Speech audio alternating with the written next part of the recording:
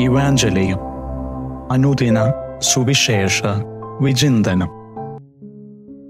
ക്രിസ്തുവിൽ ഏറ്റവും സ്നേഹം നിറഞ്ഞവരെ നവംബർ രണ്ട് സകല ശുദ്ധീകരണാത്മാക്കളുടെയും ഓർമ്മദിനം. നാം ധ്യാനിക്കുക.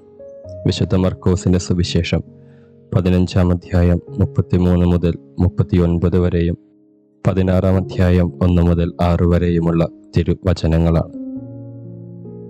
ഈശോയുടെ മരണത്തെക്കുറിച്ചാണ് നാം ഇവിടെ വായിച്ചു കേൾക്കുക ഒരു ക്രൈസ്തവന്റെ ജീവിതത്തിൽ മരണം എപ്പോഴും സന്തോഷം പകരുന്നതായിരിക്കണം എന്നൊരു ഓർമ്മപ്പെടുത്തലുണ്ട്. ഒരിക്കൽ ഒരു സന്യാസ വൈദികൻ. അദ്ദേഹം വളരെ വലിയൊരു പ്രഭാഷകനാണ്. നല്ല അറിവുള്ള ഒരു മനുഷ്യൻ. ഒരിക്കൽ അയാൾ ഒരു കോളേജിൽ ഒരു പ്രബന്ധം അവതരിപ്പിക്കാനായിട്ട് കടന്നു ചെന്നു.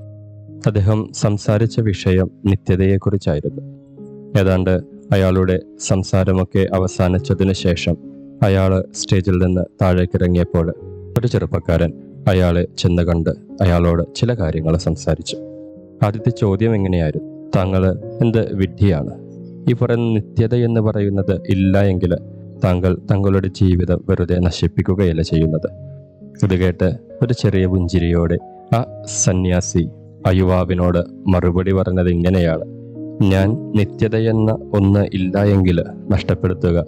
ഒരു അറുപതോ എഴുപതോ വർഷങ്ങൾ മാത്രമാണ്. പക്ഷേ നിത്യതയുണ്ടെങ്കിൽ താങ്കൾ എന്താണ് നഷ്ടപ്പെടുത്തുക എന്ന് താങ്കൾ ചിന്തിച്ചിട്ടുണ്ടോ? ഈശോയിൽ പ്രിയപ്പെട്ടവരെ ഇത് ശുദ്ധീകരണാത്മാക്കളെക്കുറിച്ച് ചിന്തിക്കുന്ന ദിവസമാണ്.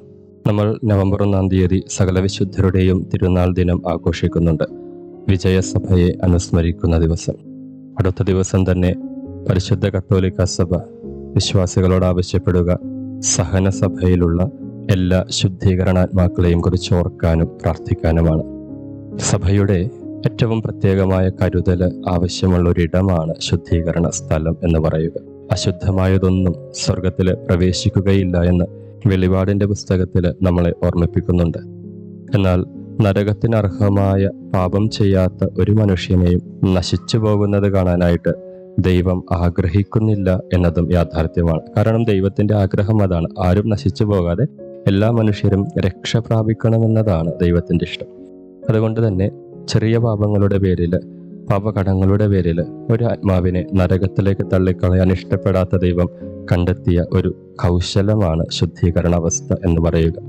ഈ ശുദ്ധീകരണാവസ്ഥയിൽ ഒരാത്മാവ് ശുദ്ധീകരണ പ്രക്രിയയിലൂടെ കടന്നു പോകണം ഇനി ഈ ആത്മാവിന് സഹിക്കുക എന്നതല്ലാതെ മറ്റൊന്നും തന്നെ ചെയ്യാനായിട്ട് ഇല്ല. ഈ അവസ്ഥയിലൂടെ കടന്നു പോവുക എന്നതല്ലാതെ ഇയാൾക്ക് ഇനി വേറൊന്നും ചെയ്യാനായിട്ടില്ല. എങ്കിലും ഈ ആത്മാവിനൊരു പ്രതീക്ഷയുണ്ട്. ഒരിക്കൽ താൻ ശുദ്ധീകരിക്കപ്പെട്ട് സ്വർഗത്തിൽ ദൈവത്തിന്റെ മുഖം കാണുമെന്നുള്ള പ്രതീക്ഷ. പക്ഷേ സഭ ചെയ്യുന്ന ഓരോ പുണ്യപ്രവൃത്തികളുടെയും ഫലം ഇവർക്ക് വേണ്ടി കാഴ്ചവെക്കുമ്പോൾ ശുദ്ധീകരണ അവസ്ഥയിലുള്ള ശിക്ഷയുടെ കാലയളവ് അവർക്ക് കുറഞ്ഞു കിട്ടും.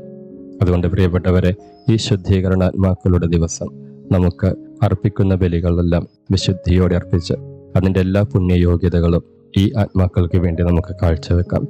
ഈ ആത്മാക്കളെ രക്ഷിക്കുക എന്നുള്ളത് നമ്മുടെ ഒരു ഉത്തരവാദിത്വമായിട്ട് കരുതാനായിട്ട് നമുക്ക് സാധിക്കട്ടെ. അതിന് ദൈവം നമ്മെ സമൃദ്ധമായിട്ട് അനുഗ്രഹിക്കട്ടെ.